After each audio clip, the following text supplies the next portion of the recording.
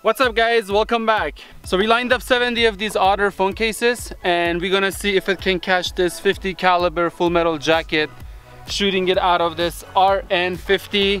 It's never a good idea to shoot at this close range, but uh, I have some experience with shooting stuff at close range. I can kind of expect what might happen, but uh, definitely not recommended. Do not try this at home. All right, let's do this. Here we go.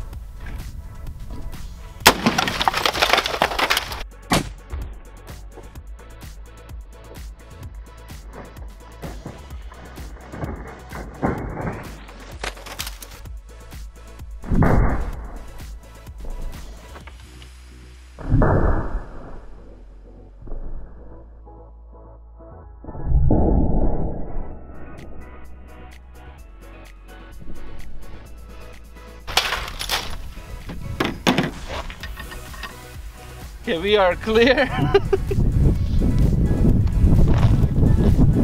oh, please tell me we got it. Okay, it did not come back here. Oh man, what a mess. So obviously went through a whole bunch of the first 10, 20, who knows. I wasn't about to number them. Here's one towards the end. Can you see it, Just Buddy? of course, it couldn't have been any more center since I was so close. right there. I wonder if we have a bullet or not. So this was center again.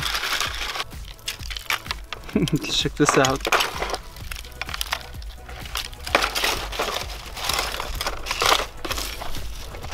Okay. I see some jacket. It might be hot. Yeah, it is hot. There's the jacket okay but I do not see the that steel anywhere ah. Uh, man I really wanted that thing I wonder if it got trapped in one of those other ones Okay, let me check the other ones.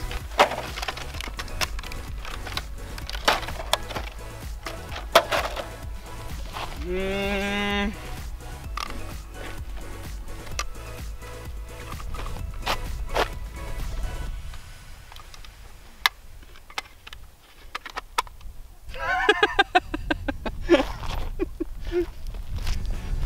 Unfortunately, I don't have a bullet for you guys which is always the sad thing here. But I hope you guys enjoyed it. Don't forget to give it a thumbs up if you liked it. Subscribe if you haven't. And as always, thank you for watching. I'll see you guys next time.